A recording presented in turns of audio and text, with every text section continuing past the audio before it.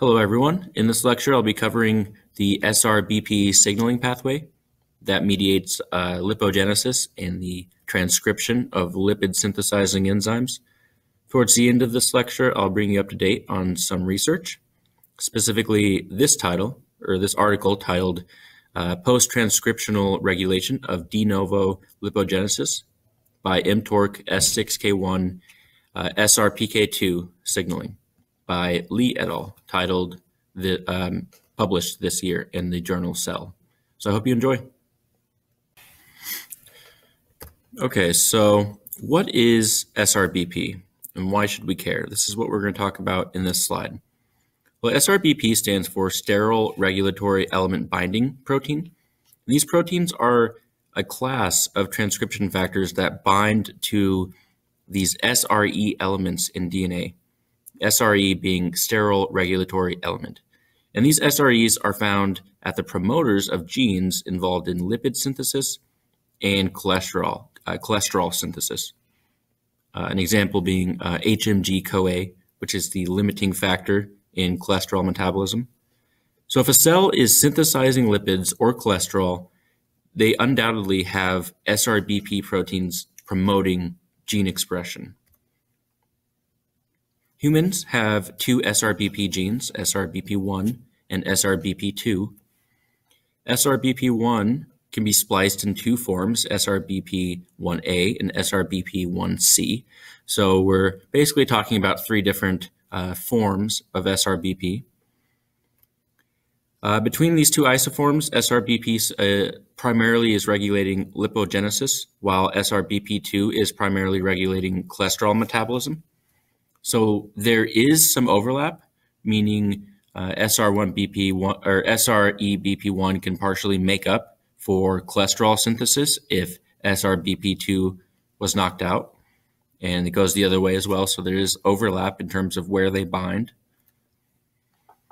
The loss of both SR uh, of both isoforms results in roughly 90% less lipid and cholesterol synthesis so that kind of gives you an idea of how important SRBP proteins are in the um, transcription eh, of lipid synthesizing and cholesterol synthesizing enzymes.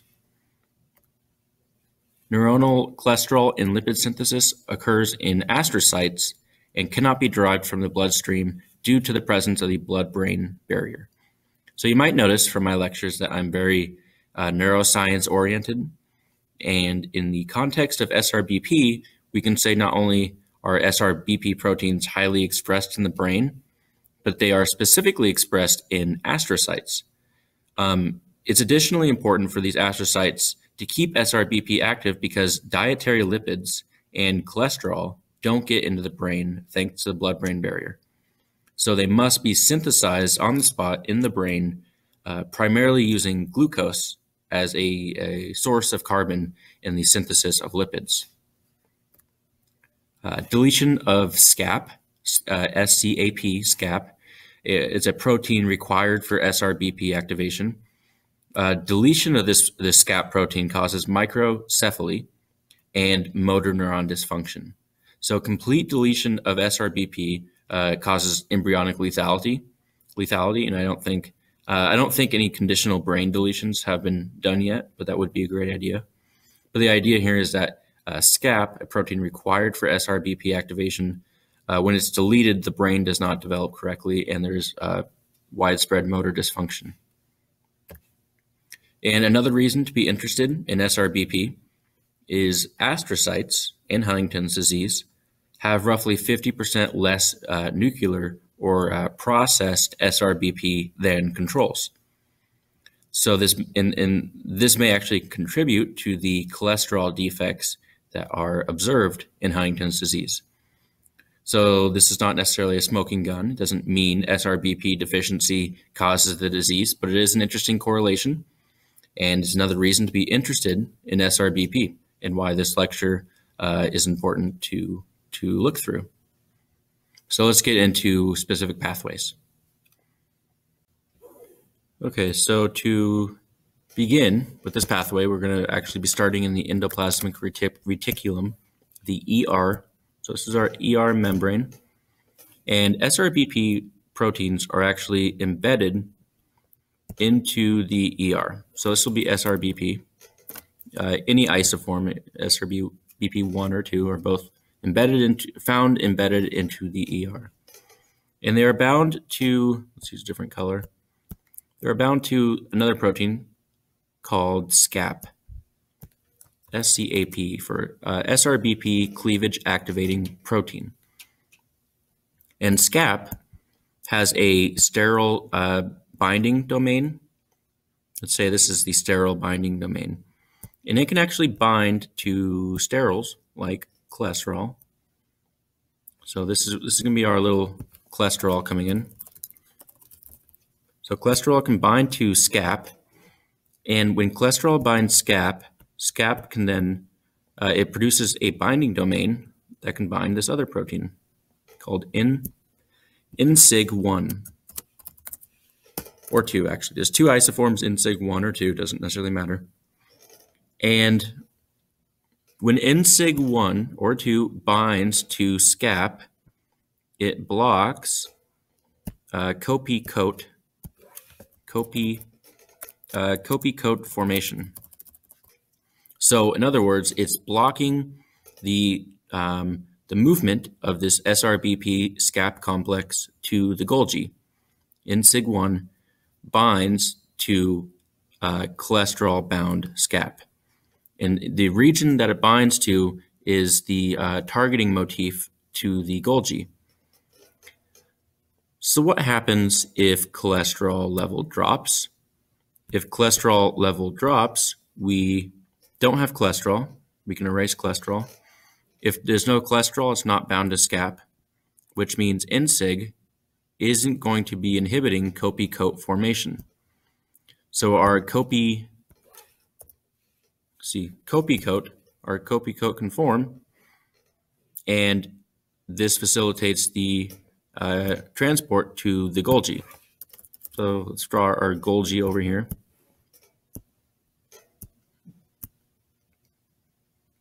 That's going to be our Golgi.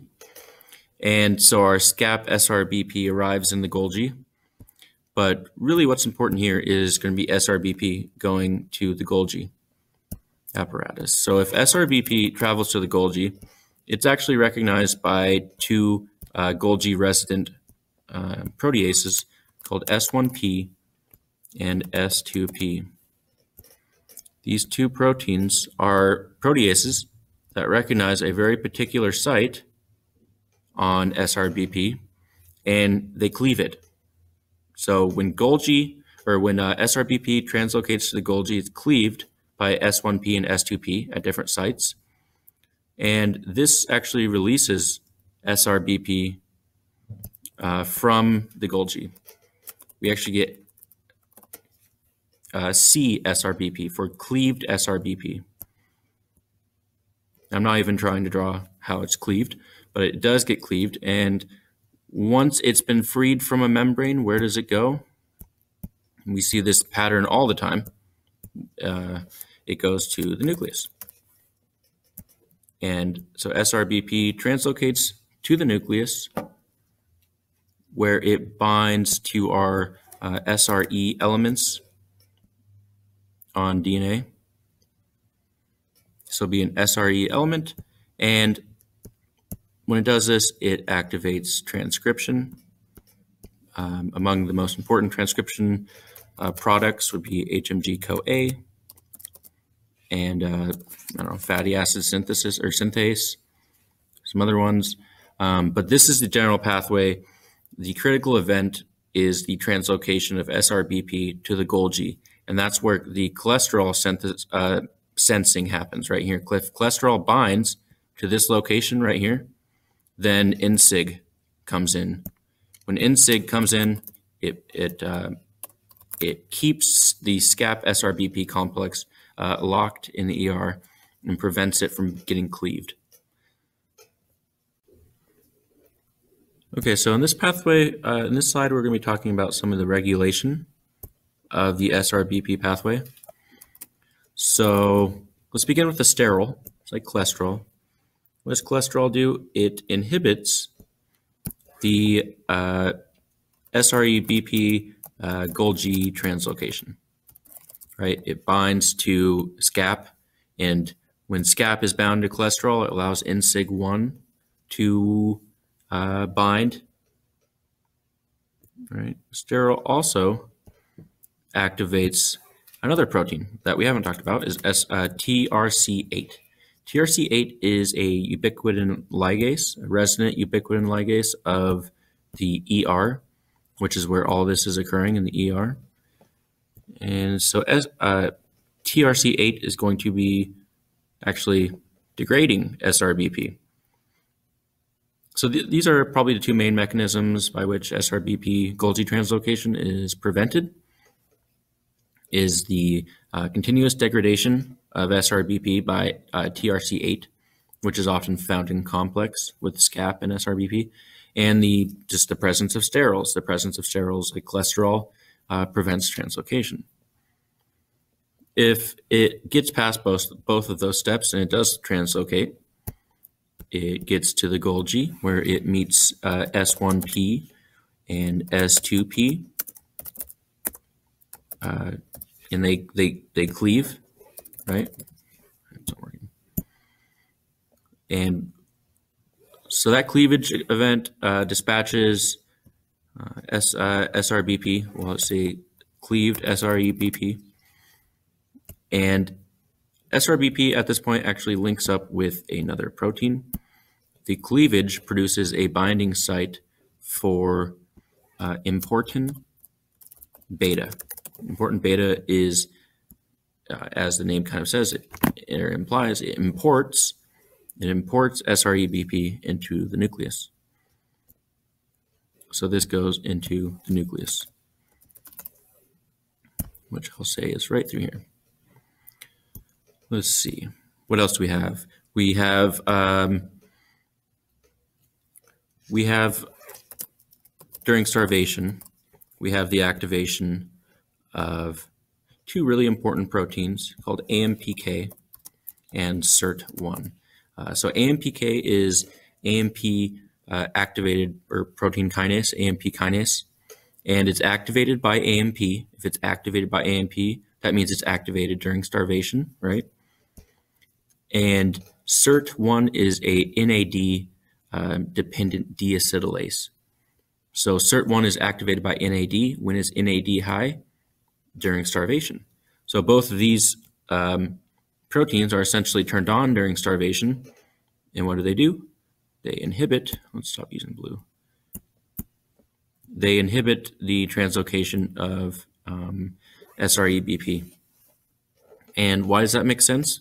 Well, if SRBP is in the nucleus promoting gene transcription, then it's going to be promoting the uh, uh, anabolic uh, construction of lipids. You know, you don't want to be building lipids when you're starving. That doesn't make any sense. You want to be burning lipids when you're starving. So in this way, uh, starvation inhibits SRBP primarily through AMPK and SIRT1. Although the exact mechanism I did not find, but they are known to inhibit. Uh, a mechanism by which SRBP is promoted is insulin and uh, growth factor signaling. So something like BDNF or um, you know just insulin, any kind of growth factor activates. Uh, they tend to converge on this protein called AKT. AKT activates mTORC primarily, among many other things, but one of the big ones is mTORC. And how does mTORC play a role in this? Well, mTORC can actually phosphorylate SRBP. mTORC also activates this other downstream protein called S6K1. This will be important for the lecture as it pertains to the, the uh, paper that we're going to be dis uh, discussing. But AKT, which is downstream of insulin signaling, uh, activates mTORC. mTORC um, promotes the translocation of SRBP into the nucleus. And for a long time, people didn't really understand how.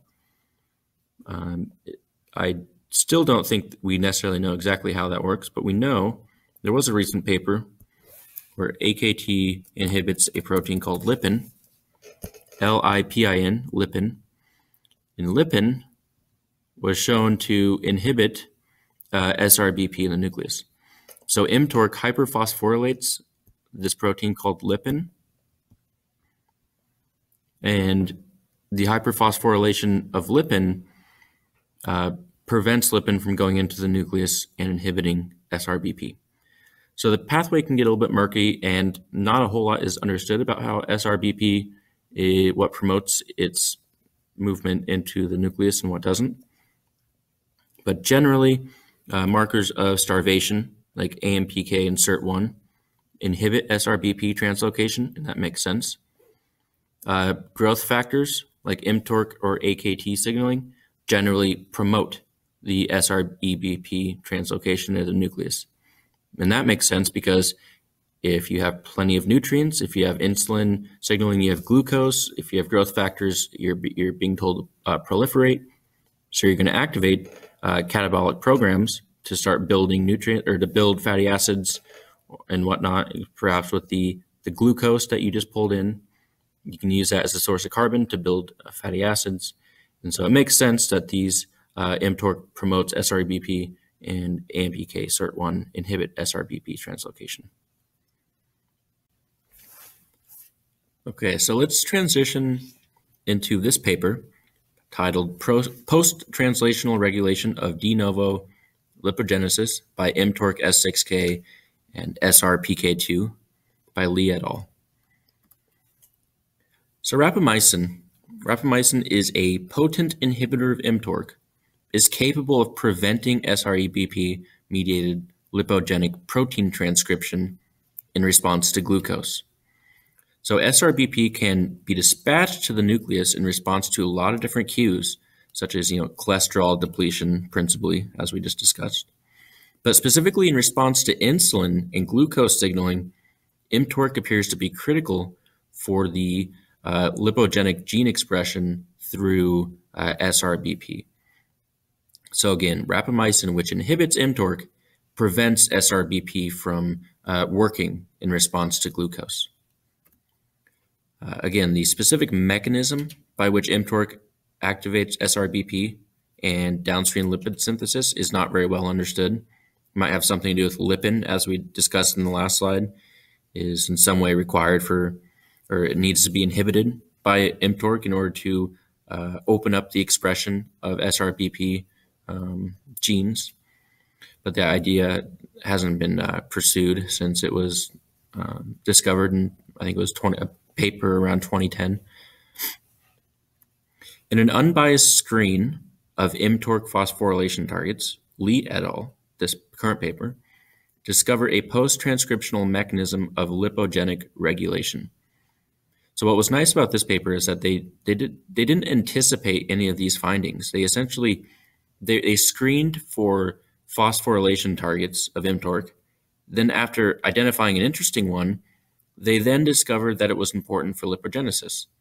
So they essentially stumbled on these findings. So let's talk about what they were.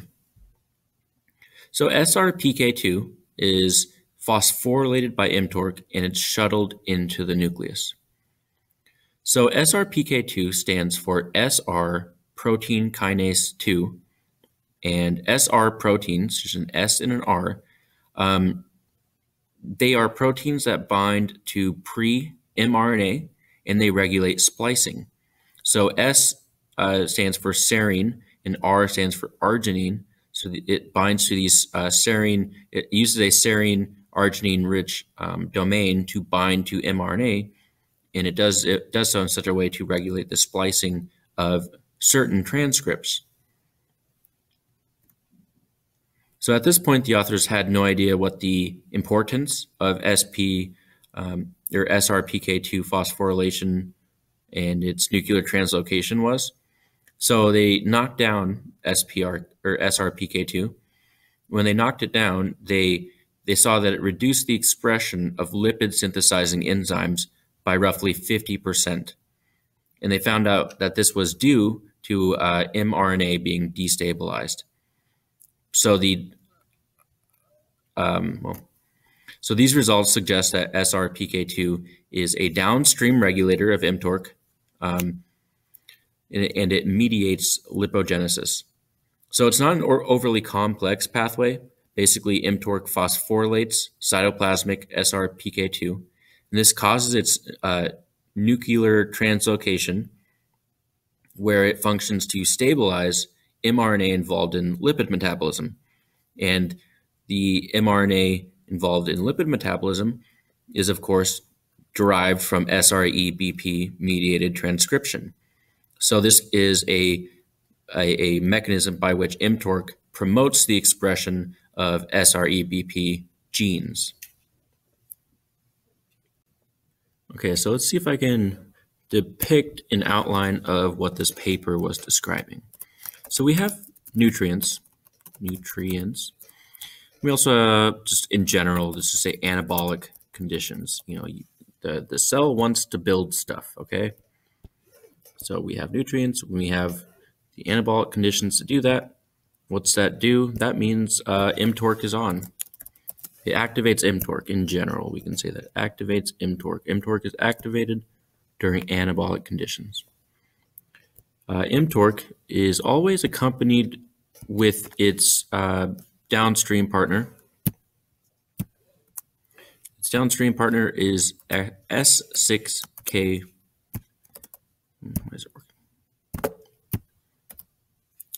Uh, S6K1.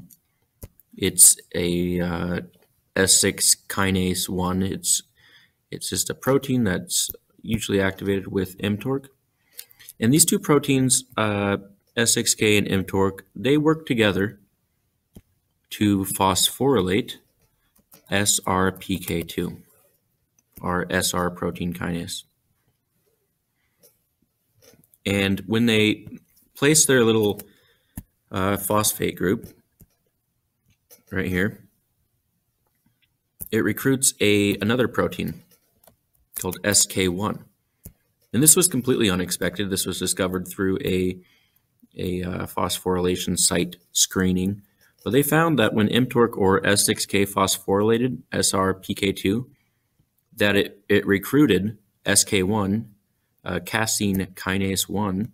It's just a constitutively active kinase. Don't know where it came from, but it's there. And it also phosphorylates uh, SRPK2.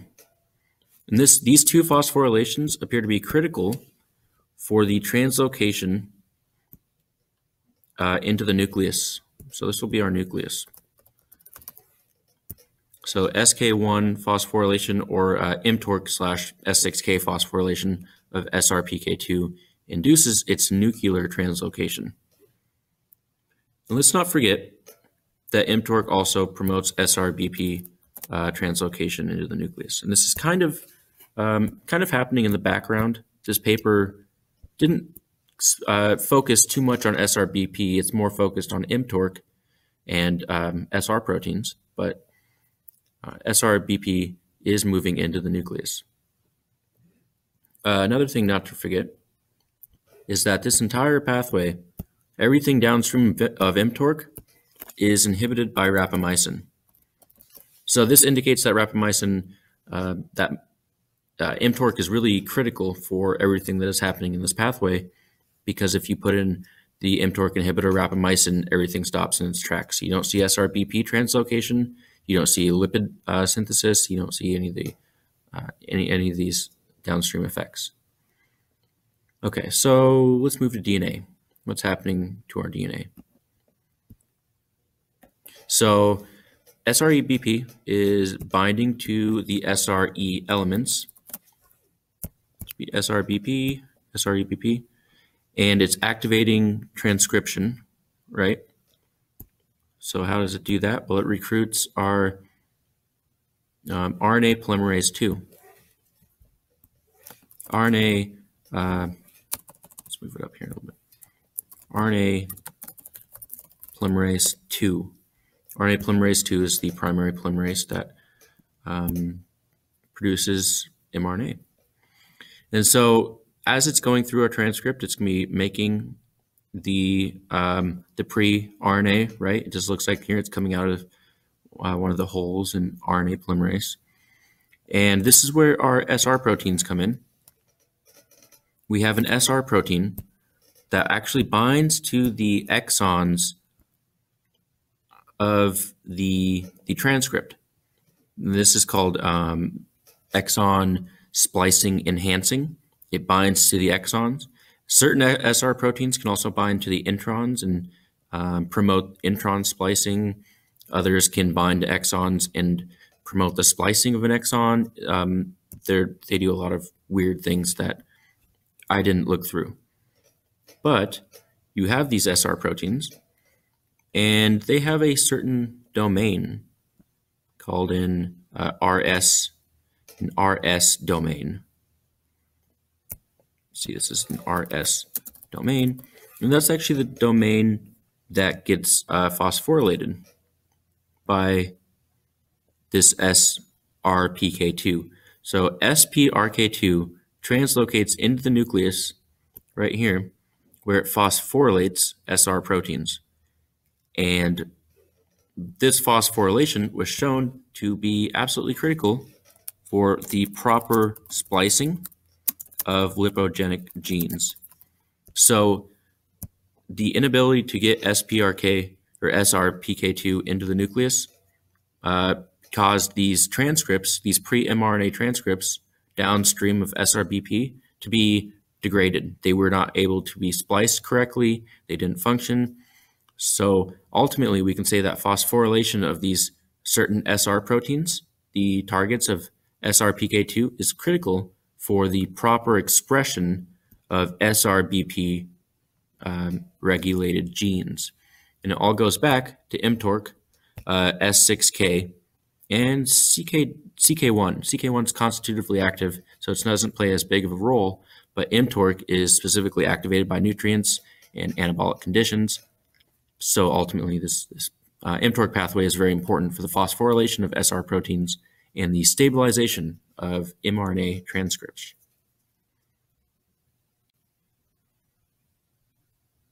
So the authors were curious how uh, SRPK2 was actually affecting the expression of all these different genes.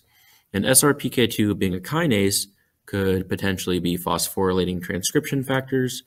It could be binding to a transcription factor. It could be uh, phosphorylating a protein. Who knows? So they were looking at all these different parameters, and they only found significance in the stability of mRNA. So when they were looking at the stability of mRNA, they wanted to look at how long the mRNA was around for. So what they did was that they would inhibit transcription. Actinomycin D is an inhibitor of transcription. It inhibits RNA polymerase 2. And then they looked at the stability of all these different uh, lipid synthesizing enzymes. All these enzymes are really critical for lipid synthesis. And they wanted to see what's happening to the mRNA when we uh, under all these different conditions. So they they they found that after if you the black bars are short hairpin GFP, so it's a control condition. So we see in all these different control conditions, the black bars are kind of just pretty stagnant. The amount the mRNA isn't going up, it's not going down. It's it, the mRNA is stable in these conditions. Even four hours after uh, stopping transcription, the mRNA is pretty much stable in, the, in those conditions, right? However, when you inhibit rapamycin, or when you inhibit mTORC with rapamycin, you see a huge decrease in the stability of these mRNA transcripts. They're they're roughly you know 50% uh, have been have been uh, destroyed by four hours after inhibiting transcription. So mTORC is in some way important for the stability of these uh, lipo lipogenesis promoting enzymes, which is interesting. Well, let's see what uh, short hairpin RNA towards SRPK2 does. When they inhibited SRPK2, they saw a similar trend. They saw that the mRNA of all these lipid synthesizing enzymes was also not stable. And they, since uh, SRPK2 phosphorylates SR proteins, which they did show in this paper, I don't have a graphic for it, they are saying that, well, that's probably the mechanism by which mRNA is being stabilized because mTORC is phosphorylating S- SRPK2, causing nuclear translocation, where it stabilizes mRNA transcripts like these ones. And here is actual proof that the mRNA is less stable when uh, either mTORC or SRPK2 is inhibited. On the right, you see um, graphics that show very clearly that the amount of lipids being produced is vastly downregulated when you knock down either SRPK2 or rapamycin. So in, in these cases, when you knock down SRPK2, so the only thing they're doing here is they're knocking down SRPK2. Some, you know, kinase that phosphorylates SR proteins. Is it important? Well, when you knock it down, you see roughly 50% decline in the amount of fatty acids being produced. Same thing with rapamycin. Someone might ask, is rapamycin important? Or I keep saying rapamycin. Someone might ask, is uh, mTORC important for lipid synthesis? you could show them these graphs and say, well, when you inhibit mTORC with either Torin or uh, rapamycin, you see almost you know 70%, 80% decline in the amount of acetate being um, labeled acetate being incorporated into fatty acids and cholesterol. So yes, mTORC is very important for the uh, synthesis of, of um, lipids. So I hope you guys enjoyed this paper. If you have any questions or you need to see other figures, just ask me. And thanks for watching. Okay, so here are two important figures from this paper. Uh, let's start with uh, the figure on the right, E.